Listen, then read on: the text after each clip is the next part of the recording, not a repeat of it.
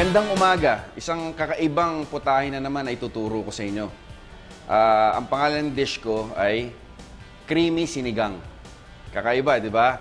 So, kailangan, ah, sabi ko nga, dapat ah, mag-isip tayo na ibang ways ng mga paparaan, ng mga pagluluto para maiba naman tayo na inihahain natin o pinagmamalaki natin sa ating mga kaibigan. Okay, sisimulan na natin ating creamy sinigang. Ang ah, ingredients natin, normal na sinigang na baboy na gagamitin natin, yung vegetables. Tapos ah, yung lempo, imamarinate natin siya ng ah, sinigang mix gagamitin natin pang marinate. Yan. Kasi ibang approach yung gagawin natin dito. eh. So, deconstructed sinigang siya. Okay? So, salt, tapos ah, pepper. Yan. Mamarinate natin siya mga 30 minutes in advance para mas okay siya. Okay, while, while hinihintay natin siya mamarinate, ah, magpapakulo muna tayo. Actually, pinakuluan na natin kanina, no? Ah, yung sibuyas sa kamatis. Tapos yung ah, broth ng vegetables na pinakuluan natin para sa sinigang. Okay, so naglasa na yung vegetables saka yung mga aromatics natin sa stock natin ngayon. Lalagyan na natin ng sinigang mix ngayon para maglasa siya. Yan. So, huwag masyado maasim kasi pag nilagay natin yung cream, ah, medyo hindi magbe-blend yung lasa nila. Yan. Pakuluan lang natin, tapos lagyan natin ng thyme. Yan. Kasi ako, mahilig ako magluto ng maraming ah, herbs and spices, no? So, thyme, pinakapaborito kong ah, nilalagay sa mga luto. Especially sa mga maasim, mas masarap yan kasi may minty flavor siya. Yan, pakuluan lang natin siya. Yan. So habang pinapakuluan natin siya, pwede na natin i-grill yung ating ah, liempo. Pan grill. Yan. So nakahiwalay yung broth natin. Ah, yung broth nakahiwalay, yung gulay, saka yung ating ah, meat. Okay.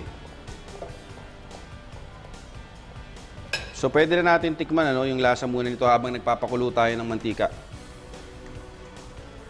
Yan, sarap ng flavor niya. Ano? Yung asim, yung thyme, the best. Okay, tapos ah, pwede na natin siyang lagyan ng cream. Yan. Depende sa gusto nyo na mas maraming cream, no? Yan. Tapos ah, sa akin kasi mas gusto ko no, sa soup yung malapot. Lalagyan natin siya ng ah, thickening agent. Gagamitin natin ah, a flour. Flour and oil mixture, no? Pero pwede rin cornstarch and water. Yan, hanggang mag, hanggang ah, mag-thicken siya. Yan. Okay. So, pwede na natin lagay yung liempo. Papan grill na natin. So, tanggalin natin yung skin para hindi para mabilis lang siya lutuin. Marinated to, no? Again, marinated siya sa sinigang uh, mix. So, naglalasa na sa kanya yung uh, asim, tapos yung salt flavor, saka yung pepper. Yan. So, depende. Kung gusto niyo mas maasim yung flavor ng meat, pwede rin. Mabilis na mabilis lang. So, para maiba lang yung ano natin, version natin ng lutong bahay na sinigang, ito ibang approach. Alam mo kasi, ako, mas mahilig ako mag-imbento ng mga pagkain. Okay, yan. Lalagyan na natin yung vegetables. Para yung lasa, yung lin- linamnam ng meat natin, nagsasama-sama na.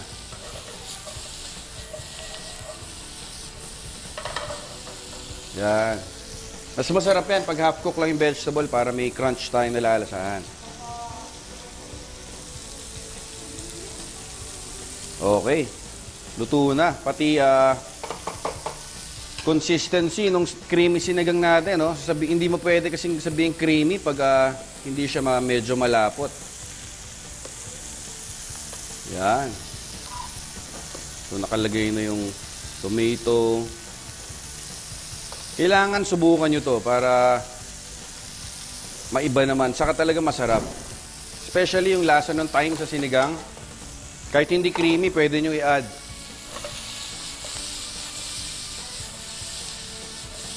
Okay, so luto na. So kahit deconstructed siya, yung lasa ng meat niya sa vegetable, meron pa ring lasa ng sinigang. Yan, so gaganyan na lang na. Lalagay lang natin.